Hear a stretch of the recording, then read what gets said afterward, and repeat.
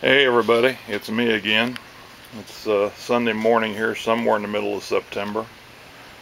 Uh, just a little quickie update. I've decided to just completely dismantle my 2013 system. Uh, here's here's what's left of it. There's a pile of scrap PVC there. Pile of scrap PVC laying there pile of scrap PVC laying in there. Here's the biofilter media.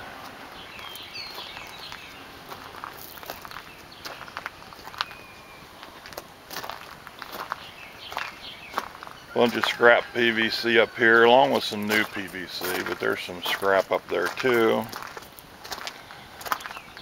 And here's the old 300 gallon biofilter tank sitting here.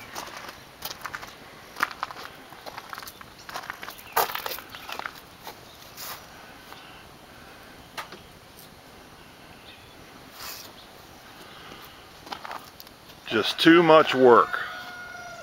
Too much work. I still drive truck every day for a living. Drive my own truck six, five, six days a week. And then on top of it, I come home every weekend and work on this fish thing. And the way it, the way it was set up was working, but it was too much work.